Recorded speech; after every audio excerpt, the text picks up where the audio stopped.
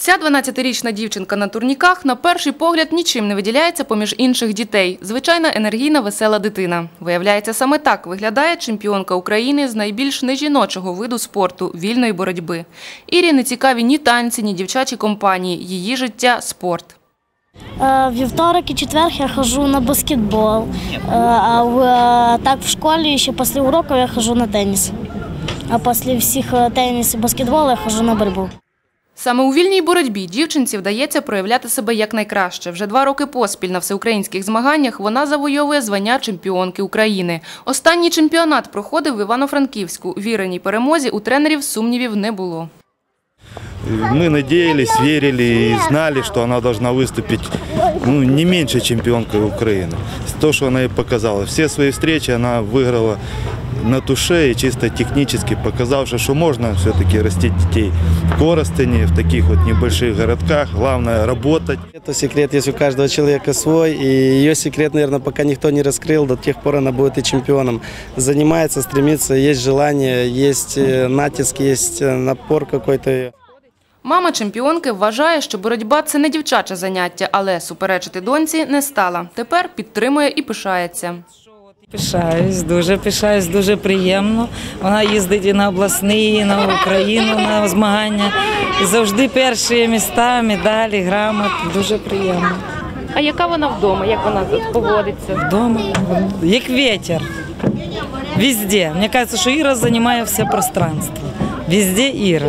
Вона навіть де прийде, до кого везде її чутно і видно. Ну, живчик.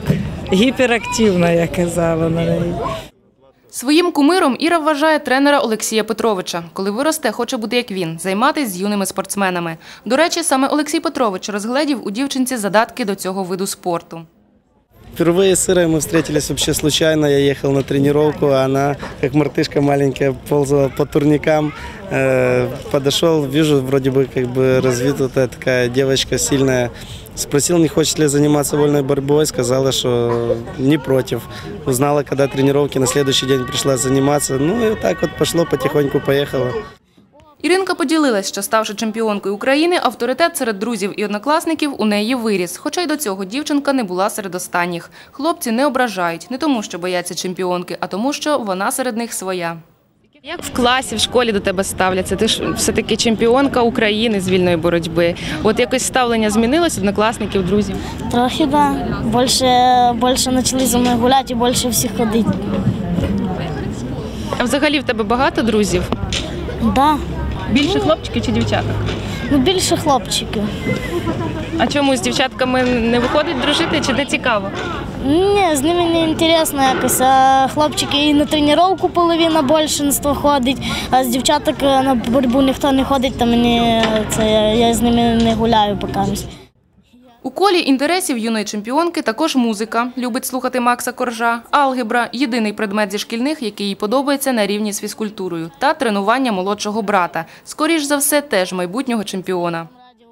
О, братик взагалі хоче за мною боротися теж. Ні, він менший, йому 4 роки. Ти його вчиш?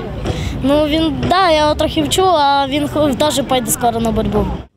За підготовку спортсменки до чемпіонату тренер Олексій Петрович отримав диплом від президента Асоціації спортивної боротьби України. А сама чемпіонка, окрім поваги та заохочення від батьків, грошове винагородження та путівку в Одеський санаторій Молода гвардія.